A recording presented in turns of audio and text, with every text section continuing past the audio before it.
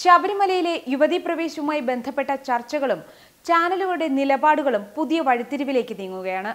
യുവതികൾ കയറണമെന്ന സുപ്രീം കോടതി വിധിയോട് അനുകൂല നിലപാടെടുത്ത് മുന്നേറുന്ന ചാനലുകളും അത് ആചാര ലംഘനമാണെന്ന നിലപാടുള്ള ചാനലുകളും എന്ന രീതിയിൽ വാർത്താ മാധ്യമങ്ങളുടെ ഇടയിൽ തന്നെ ഈ വിധി വിഭാഗീയത ഉണ്ടാക്കിയിരുന്നു.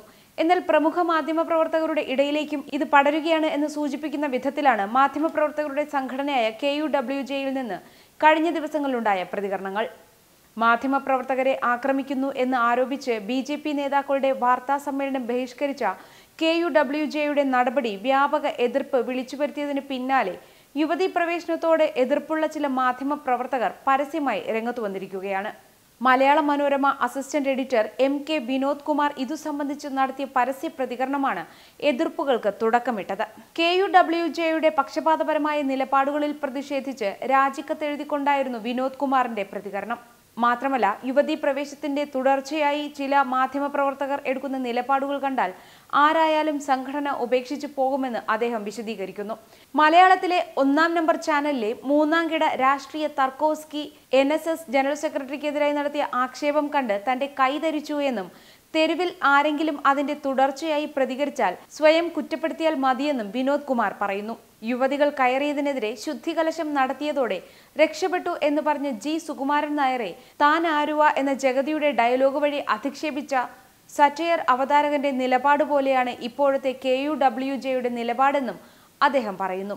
യുവതി പ്രവേശത്തെക്കുറിച്ച് ഏഷ്യാനെറ്റ് ന്യൂസിൽ സംപ്രേഷണം ചെയ്ത കെ വി മധു അവതരിപ്പിച്ച ചിത്രം വിചിത്രം എന്ന ആക്ഷേപഹാസ്യ പരിപാടിക്കെതിരെയായിരുന്നു വിനോദ് കുമാറിന്റെ പ്രതികരണം. എന്നാൽ മാധ്യമപ്രവർത്തകരുടെ വാട്സാപ്പ് കൂട്ടായ്മയിൽ അടക്കം ഇതു സംബന്ധിച്ച് ചേരിതിരിഞ്ഞ ചർച്ചകൾ രൂപപ്പെട്ടിരിക്കുകയാണെന്നാണ് വിവരം. പ്രമുഖ മാധ്യമപ്രവർത്തകൻ ദിനേശ് വർമ്മ ആക്ഷേപഹാസ്യ പരിപാടികളുടെ ഉള്ളടക്കം നോക്കി സംഘടനാ പ്രവർത്തനം നടത്തുന്നവരെ കുറിച്ചൊക്കെ എന്തു പറയാനാണ് എന്ന് പ്രതികരിച്ചുകൊണ്ട് രംഗത്ത് വന്നു. മാത്രമല്ല മാധ്യമപ്രവർത്തകർ നാടുനീളെ തല്ലുകൊണ്ട് വേദനിക്കുമ്പോൾ ഇത്തരക്കാർ എവിടെ പോയി എന്നും എതിർക്കുന്നവർ ചോദിക്കുന്നു. സംഘടനാ പ്രവർത്തനം സംഘടനയിലെ അംഗങ്ങൾക്ക് വേണ്ടിയാണ്. അല്ലാതെ ആക്ഷേപഹാസ്യ പരിപാടിയിൽ തന്റെ തമ്പുരാനെ കളിയാക്കുന്നു എന്ന് പറഞ്ഞ് രാജിവെച്ചു പോകുന്നവർ പോകട്ടെ എന്നാണ് നിലപാടെന്നും ദിനേശ് വർമ്മ പറയുന്നു. അതേസമയം എൻ എസ് എസും ജി സുകുമാരൻ നായരും ഏഷ്യാനെറ്റിനും ചിത്രം വിചിത്രത്തിനും അവതാരകന്റെയും നിലപാടിനുമെതിരെ കടുത്ത നിലപാടിലാണ് എന്ന് അറിയുന്നു. തന്നെയും തന്റെ സംഘടനയും ഇത്തരം ഷോകളിലേക്ക് വലിച്ചിഴയ്ക്കുന്നത് ധാർമ്മികതയല്ല എന്ന് അദ്ദേഹം അടുത്തു നിൽക്കുന്നവരോട് സൂചിപ്പിച്ചു അത്രേ ടെലിവിഷനുകളിലെ ഹാസ്യ പരിപാടികളിൽ ഉൾപ്പെടുത്തുന്നു എന്ന കാരണം കൊണ്ട് മൂന്ന് വർഷം മുൻപ് പത്രസമ്മേളനം തന്നെ വേണ്ട എന്ന് വെച്ച ചരിത്രം സുകുമാരൻ നായർക്കുണ്ട്. വനിതാ മതിലിനെതിരെ പ്രതികരിക്കാൻ കഴിഞ്ഞ മാസം വിളിച്ച വാർത്താ സമ്മേളനത്തോടെയാണ് അത് ലംഘിക്കപ്പെട്ടത്.